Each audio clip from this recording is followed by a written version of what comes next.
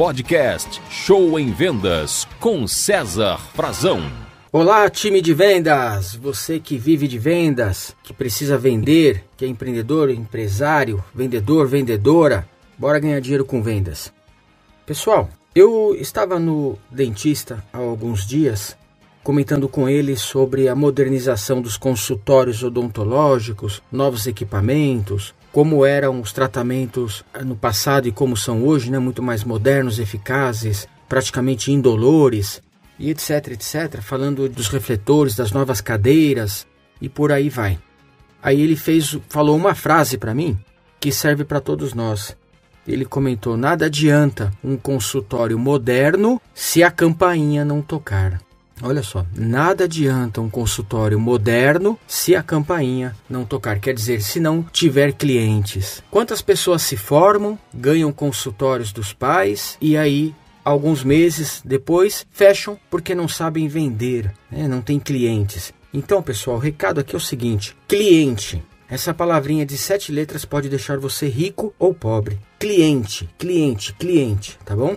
Então, não se esqueça disso. Você pode ter bons equipamentos, um celular moderno, um notebook novo, um carro novo, mexer nas instalações da empresa, etc, etc, etc. Tudo é bom, tudo ajuda. Mas nada adianta se a campainha não tocar, se o telefone não tocar, se a mensagem não vier.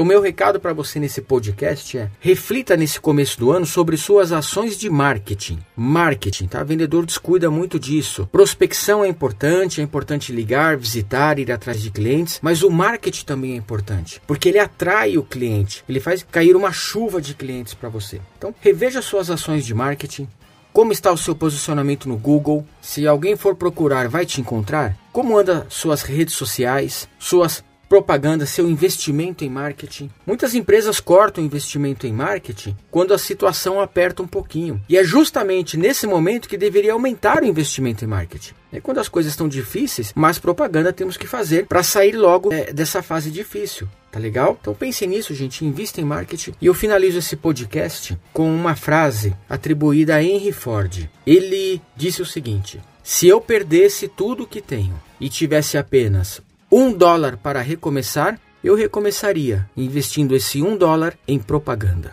Muito obrigado, boas vendas, sucesso aí para você e boas propagandas. Você ouviu Show em Vendas com César Frazão.